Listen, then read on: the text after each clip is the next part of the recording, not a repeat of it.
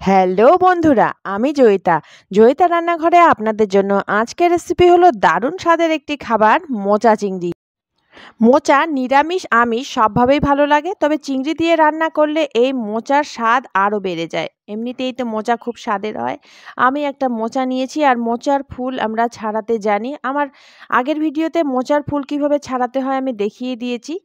একটা প্লাস্টিকের মতো অংশ থাকে আর ভেতরের একটা শক্ত ডাটি থাকে, ওগুলো ফেলে দিলেই মোচা পরিষ্কার হয়ে যায়। আর মোচার ফুলগুলো পরিষ্কার করে নিয়ে সরু সরু করে কেটে নিয়েছি মানে খুব ঝুরি ঝুরি করে। একটু লবণ দিয়ে আর অল্প জল দিয়ে আমি কিছু সময় মোচাটাকে সেদ্ধ করে নিলাম। আর দেখুন, মোচা আমার সেদ্ধ হয়ে গেছে, এবারে আমি জল সহই মোচাটা নামিয়ে রাখব। আর এদিকে একটা বাটিতে কয়েকটা চিংড়ি নিয়েছি, মাঝারি সাইজের ছোটোর থেকে একটু বড়। লবণ, হলুদ আর লঙ্কা গুঁড়ো দিয়ে চিংড়িটা মাখিয়ে রাখব। আর এদিকে নতুন আলু সেদ্ধ করে খোসা ছাড়িয়ে আমি রেখে দিয়েছি। চিংড়ি মাখা হয়ে গেল আর এদিকে একটা কড়াইতে আমি দিয়ে দিচ্ছি সর্ষের তেল। আজকে রান্না হবে সর্ষের তেলেই। আর এই লবণ, হলুদ আর লঙ্কা গুঁড়ো মাখিয়ে রাখা চিংড়িগুলো কড়াইতে দিয়ে নাড়াচাড়া করে কিছু সময় আমি ভেজে নিলাম। আর চিংড়িগুলো আমার ভাজা হয়ে গেছে আমি নামিয়ে নিচ্ছি। ওই তেলের মধ্যেই আমি সেদ্ধ করা আলুগুলো ভেজে নিচ্ছি। আলু আমি বেশি দিইনি। আলু আপনাদের পছন্দ মতো দেবেন। আলু কিছুটা ভাজা হয়ে গেলে এর মধ্যে সামান্য হলুদ আর লবণ দিয়ে একটু নাড়াচাড়া করে আমি আলু ভাজ ভেজে নেব। আর দেখুন, আলুগুলো ভাজা হয়ে গেছে গায়ে একটু ফোসকা ফোসকা ভাব ধরেছে। আলুগুলো নামিয়ে নিচ্ছি। ওই তেলের মধ্যে আবার একটু সর্ষের তেল দিয়ে দিলাম।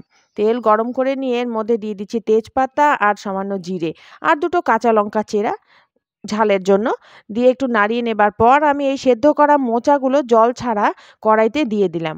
মোচা দিয়ে আবারও কিছু সময় আমি নাড়াচাড়া করে মোচাটাকে একটু ভেজে নেব। আর মোচাটা কিছুটা মজে গেছে ভাজতে ভাজতে। এমনিতে তো সেদ্ধ করাই ছিল। আর তারপর আমি লবণ আর হলুদ দিয়ে আবারও নাড়াচাড়া করে মোচা আরও কিছু সময় ভেজে নিচ্ছি। আর দেখুন মোচাটা অনেকটাই ভাজা হয়ে গেছে। এবারে আমি মোচার মধ্যে দিয়ে দিচ্ছি সামান্য নারকেল কোড়ানো এই নারকেল কোড়ানো দিলে মোচার স্বাদ আরও বেড়ে যায়। নিরামিষ হোক বা আমিষ, মোচার মধ্যে নারকেল দিলে স্বাদ আরও বেড়ে যাবে। কিছু সময় নাড়িয়ে নেবার পর আমি অল্প অল্প করে জিরে গুঁড়ো, ধনে গুঁড়ো, লঙ্কা গুঁড়ো, রঙের জন্য সামান্য কাশ্মীরি লঙ্কা গুঁড়ো দিয়ে আবারও শুকনো মানে গুঁড়ো গরম মশলাটা নাড়াচাড়া করে কষিয়ে নিচ্ছি। আর এই পর্যায়ে আমি এই ভেজে রাখা আলু আর চিংড়ি মোচার সাথে মিশিয়ে দিয়ে আবারও নাড়াচাড়া করে সব কিছু ভেজে নিচ্ছি। গুঁড়ো মশলা দিয়ে কিছু সময় ভেজে নেবার পর আমি মশলাটা কষানোর জন্য সামান্য জল দিয়ে দিলাম, খুব সামান্য জল দিয়ে দিলাম। আর চিংড়ি আমার সেদ্ধ হয়ে গেছে, আলু তো সেদ্ধ করাই ছিল। সামান্য চিনি আর আদা বাটা দিয়ে আবার একটু নাড়াচাড়া করে দিচ্ছি। সব কিছু একসাথে মিশিয়ে দিচ্ছি আর দেখুন মোচাটা অনেকটাই মজে গেছে। আর মোচা তো আমার সেদ্ধ করাই ছিল। আরও কিছুক্ষণ সময় নাড়িয়ে নিলাম আর নামানোর আগে সামান্য গুঁড়ো গরম মশলা দিয়ে সব কিছুর সাথে মিশিয়ে দিচ্ছি। এতে করে মোচা চিংড়ির মধ্যে একটা সুন্দর গন্ধ আসবে। আর মোচা চিংড়ি আমার তৈরি হয়ে গেল। রেসিপি আপনাদের কেমন লাগল আমাকে অবশ্যই জানাবেন। ভাতের সাথে মোচা চিংড়ির স্বাদ একেবারে অজানো মনে হয় অমৃত। ভিডিওটি ভালো লাগলে লাইক দিয়ে দেবেন। নতুন বন্ধু হয়ে থাকলে চ্যানেলটি সাবস্ক্রাইব করার অনুরোধ রইল। আর আমার সাবস্ক্রাইবের বন্ধুরা ভিডিওতে লাইক দিয়ে পাশে থাকবেন। সবাই খুব ভালো থাকবেন। ধন্যবাদ।